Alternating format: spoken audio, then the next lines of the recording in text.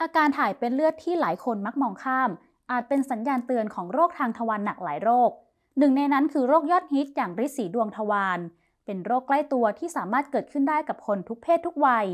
เพราะเป็นโรคที่เกี่ยวข้องกับพฤติกรรมการใช้ชีวิตประจำวันโดยตรง จริงๆ แล้วในทุกคนเนี่ยในร่างกายเราเรามีอยู่แล้วนะครับ มันจะเป็นกลุ่มของหลอดเลือดแดงและหลอดเลือดดำเล็ก ๆ ที่อยู่บริเวณทวารหนักนะครับ พวกนี้มันจะเป็นตัว ช่วยตอนที่เรา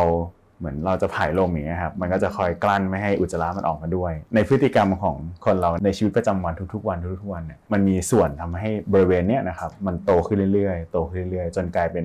โรคของลิสีดวงทวารที่เป็นปัญหาในปัจจุบัน สาเหตุหลักๆ อันดับแรกเลยนะครับการนั่งห้องน้ำถ้าเข้าห้องน้ำนานเนี่ยไอตัวบริเวณลิสีดวงเนี่ยมันก็จะบวมมากขึ้นบวมมากขึ้นนะครับเพราะว่าเลือดที่มาเลี้ยงบริเวณเนี้ย นะครับมันไม่ได้ไหลย้อนกลับเข้าไป พฤติกรรมการรับประทานอาหารนะครับไม่ว่าจะเป็นการรับประทานอาหารที่มีไฟเบอร์น้อย การดื่มน้ำน้อยนะครับดื่มน้ำน้อยนี่ยกตัวอย่างดื่มไม่ถึง 2 ลิตรต่อวันอย่างนี้เป็นต้นนะครับพวกนี้ก็ทำให้มีอาการท้องผูกตามมา หรือว่าท้องเสียหรือว่าท้องผูกเรื้อรัง ก็ทำให้มีโรคริดสีดวงได้เหมือนกัน และนอกจากนี้ในปัจจุบันก็มีการ เล่น weight training มากขึ้นนะครับการออกกำลังกายที่เป็น heavy exercise heavy lifting exercise ต่างๆนะครับพวกนี้ก็ทำให้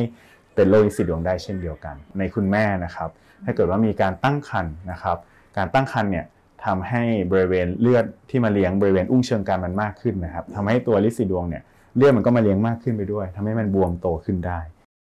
โรคริดสีดวงทวารแบบภายใน สามารถแบ่งความรุนแรงของโรคได้ทั้งหมด 4 ระยะ ได้แก่ระยะที่ 1 หลอดเลือดที่โป่งพองยังคงอยู่ภายในทวารหนัก ไม่มีหัวริดสีดวงโผล่ออกมา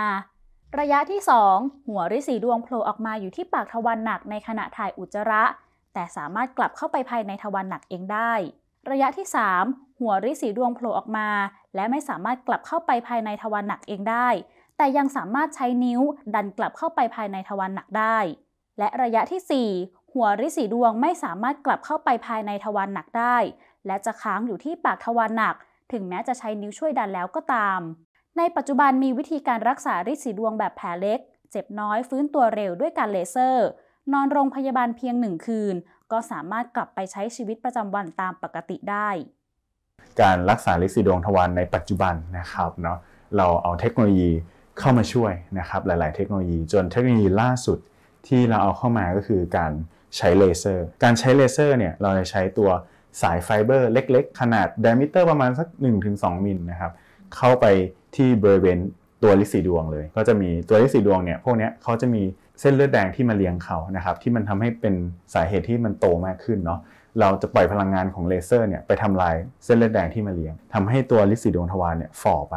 โดยที่เราไม่ต้องตัดออกมาเลย ข้อดีมากๆก็คือไม่มีแผลผ่าตัดฟื้นตัวเร็วมาก พักฟื้นเพียงหนึ่งคืนนะครับวันรุ่งขึ้นก็สามารถที่จะกลับบ้านได้แล้ว success rate หรือว่าโอกาสในการประสบความสำเร็จในการรักษาลิสีดวงด้วยเลเซอร์เนี่ยอยู่ที่ 95%เลยนะครับหลังจากที่รักษาโรคลิสีดวงทวารแล้วนะคะ ก็ยังมีโอกาสกลับมาเป็นซ้ำได้ค่ะ เพราะฉะนั้นควรปรับเปลี่ยนพฤติกรรมควบคู่ไปด้วยนะคะ เช่น นั่งขับถ่ายให้เป็นเวลา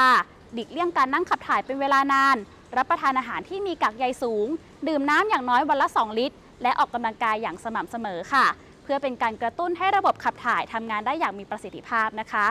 ลาดิตวดีตั้งสิริตระกูล เวทานีนิวส์ รายงาน